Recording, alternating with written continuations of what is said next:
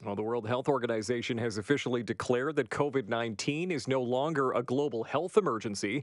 The organization's director general says the pandemic has been on a downward trend for more than a year, and most countries have returned to pre COVID life.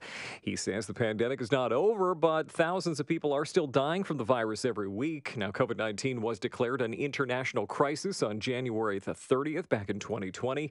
Since then, global health officials say the virus has killed at least 7 million people worldwide.